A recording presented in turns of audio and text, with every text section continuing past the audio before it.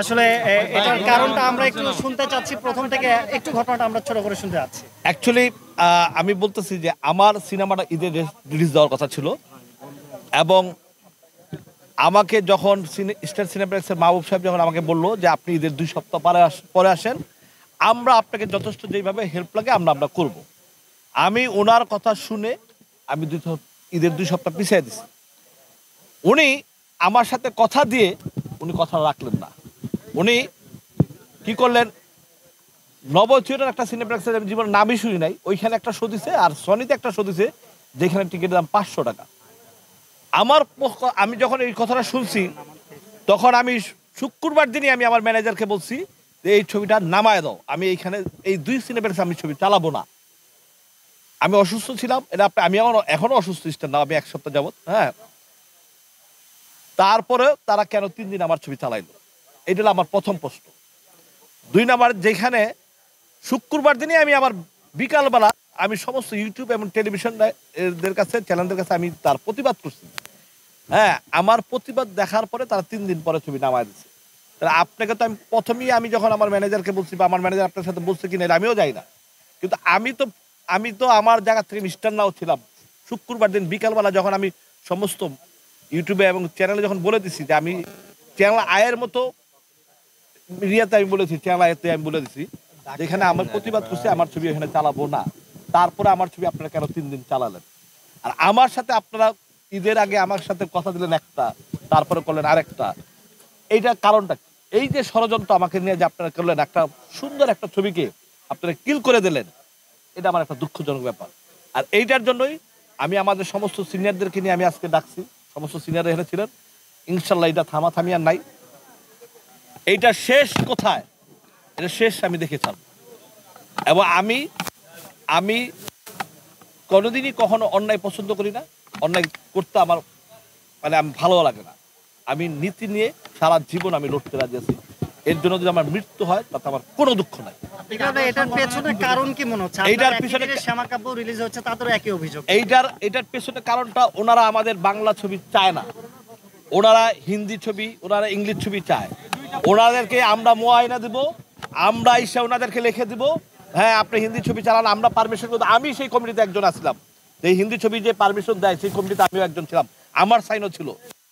আজকে আমি আপনাদের হিন্দি ছবি এনে দিচ্ছি আর আপনারা আমার ছবি কিল করে দিচ্ছেন। এই হলো আপনাদের উদ্দেশ্য। এখন আমরা যে আমাদের সংগঠন আমরা মিটিং ডাকতেছি সামনের সপ্তাহে, আমরা তো যতর মধ্যে এটা সুবাদা শেষ না হবে, হিন্দি ছবি তো দূরের কথা। এটা নিয়ে কোন পর্যন্ত যাই আপনারা একটু অপেক্ষা করেন। আমরা মাননীয় প্রধানমন্ত্রীর কাছে যাব আমরা তথ্যমন্ত্রীর কাছে যাব। আমরা সব জায়গায় আমরা দরকার পড়লে এফডিসি দরকার পড়লে আমরা বন্ধ করে দেবো কিন্তু আমরা এফডিসি বন্ধ করে দেবো আমরা দরকার বন্ধ করে আমরা আমাদের প্রতিবাদ করব আমরা ইনশাআল্লাহ। অনেক ক্ষেত্রে দেখা যায় যে ধ্বংসের যে পায়তারা চলছে হ্যাঁ। এই যে সিনেপ্লেক্স থেকে যেভাবে বাংলা সিনেমা নামিয়ে দিচ্ছে এটা কি তারা অংশ কিরা কি মনে করছে এইটা এইটা আমার কাছে মনে যে বাংলাদেশে যে একটা পাকিস্তানি কায়েম হয়ে গেছে ঠিক আছে? বাংলা ছাড়াও হিন্দি লেখে আও উর্দু লেখে আও হ্যাঁ? এই এই অবস্থা হয়ে গেছে বর্তমানে বাংলাদেশে। বাংলা হটাও বাংলা হটাও, উর্দু লেখাও, বাংলা হটাও, উর্দু লেখাও। আরে, এইটা তো বঙ্গবন্ধুর ইন্ডাস্ট্রি যেই বঙ্গবন্ধু এই- ইন্ডাস্ট্রিটা তৈরি করে দেওয়া গেছে, ওনার দেশে হিন্দি ছবি, উর্দু ছবি কোনোদিন চলতে পারে না। তারপরেও ওনাদেরকে আমরা একটা সুযোগ দিয়েছিলাম। হল চলে না, এরা চলে না হ্যাঁ। সেইখানে এই সুযোগ পেয়ে এখন আমাদের গর্দনেই তারা জব করতেছে, ঠিক আছে? এই জবটা বন্ধ করতে হবে। অনেক ক্ষেত্রে স্টার সিনেপ্লেক্স কর্তৃপক্ষ আবার বলে এটা যে দর্শক নাকি হয় না আপনার দেন আপনার সকালবেলা নটার সুদ দর্শক হবে? এগারোশো দর্শক হবে? আপনি দিয়ে রাখবেন বিএপি শু তিনটা শু দিয়ে রাখবেন ইংলিশ ছবি ছটা শু দিয়ে রাখবেন হিন্দি ছবি আর বাংলা ছবি দিয়ে রাখবেন এগারোশো দর্শক কি হবে? আপনাদের মন মতো কথা বললে হবে? কিন্তু আপনারা যদি সিনেমা বন্ধ করে দেন বা আপনার সিনেমা বন্ধ করে দেন তা তো ওদেরই আপনার হ্যাঁ আমাদের তো সমাধান করতে হবে। এটা গণতন্ত্র দেশ। এত সবকিছু সহজ মনে করো না ঠিক আছে?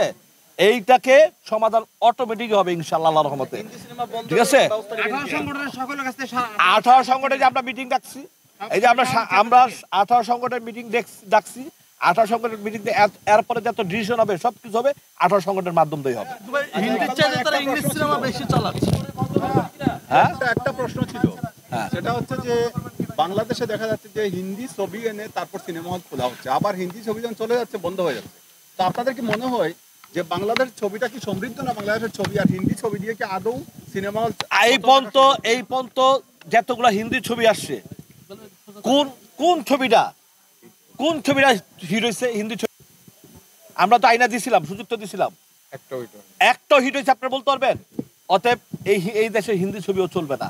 এই দেশে ওনারা ওনারা যে ওনারা যে হিন্দি ছবি আমি তো দেখি মাঝে মধ্যে যা ইংলিশ ছবি হিন্দি ছবি দশ জন হয় দশ জন বিশ জন পনেরো জন দর্শক হয় তাদেরটা আপনারা কীভাবে চালান? সেই ইংলিশ ছবি দশজন পনেরো জন দর্শক নিয়ে আপনারা কীভাবে চালান? আর আমাদের বাংলা ছবি দশজন পনেরো জন নিয়ে চালান যান না কেন? আমরা কি বাংলা ছবি কি সিনেমা না? আপনারা তো আমাদের কালচারটাকে ধ্বংস করে দিচ্ছেন আপনারা। সিনেপ্লেক্সের ক্ষেত্রে কি এটা কি সব বাংলা সিনেমার ক্ষেত্রে তারা এমন করছে মনে করেন? এইটা আমি এইটা আমি আমি এইটা আমার আমার কাছে স্টার সিনেপ্লেক্সের কাছে আমার এটা আমি পাইছি। আমি যমুনা তো এটা পাই নাই, আমি লায়নও পাই নাই, আমি কোথাও পাই নাই, আমি স্টারে পাইছি। কারণ স্টারে ওনারা ম্যাক্সিমাম সিনেমা স্টারগুলো ভাড়া নিয়ে নেয়, ভাড়া নিয়ে তাদের ক্যাপচারে তারা রেখে দেয়। রেখে দেয় তারা তাদের মন মতো কাজগুলো করতে এবং আমাদেরকে দেয় কয় টাকা? আজকে আপনাদের একটা হিসাব দেই। আজকে আপনারা একটা মনে রাখেন, একটা সিনেপ্লেক্সে যদি এক মাস হাউসফুল থাকে কোনো ছবি, আজ আজও পর্যন্ত কোনো ছবি এক মাস হাউসফুল সেখানে আমি যাই না। যদি কোনো একটা হাউস একটা প্রডিউসার কত পায় জানেন? মাত্র তিন থেকে চার লাখ টাকা। এক মাস হাউসফুল থাকতে হবে। তাহলে ওনারা বিক্রি করে জানেন কত? ষাট থেকে সত্তর লক্ষ টাকা ওনারা বিক্রি করে। শেয়ার মানিটা একটু বলা যায় কিনা? আর তো তারা দেয় লোক আমাদের সর্বোচ্চ দিল পঞ্চাশ টাকা বা পাঁচ পঞ্চাশ টাকা। চারশো টাকা টিকিটের বিক্রি দেয় পঞ্চান্ন টাকা। তাহলে আপনি এক মাসে যদি একটা ছবি হাউসফুল যায় আপনি দশটা সিনেমা যদি হাউস যায় তাহলে আপনার চার দশে কত আসে? একটা প্রডিউসার এই যে তিন চার পাঁচ মিনিটের ছবি বানায় আমরা কিছু বলি না। কে ক টাকা পায় আমরা সবই জানি। এই যে বৈষম্য ঠিক আছে? এইটা আমরা সবই জানি হিসাব হিসাব ঠিক আছে? আমরা বলতে পারি, এই, আমার ছবি সুপার হিট আমার ছবি কার ছবি কয় টাকা পায়? আপনি হিসাব করে আসেন, মিলে আসেন। যে এই সিনেপ্লেক্সের একটা অঙ্ক করেন। ঠিক আছে? অথবা এই টাকাটা তো সিনেপ্লেক্স খেয়ে ফেলায়। এই টাকাটা সিনেপ্লেক্স খেয়ে ফেলায়। হ্যাঁ? এইটার জন্য আমাদেরকে ওই যে ইন্ডিয়ান সিস্টেম করতে হবে ফিফটি পার্সেন্ট ফিফটি পার্সেন্ট তাহলে দেখবেন প্রডিউসার চেহারা দেখবে।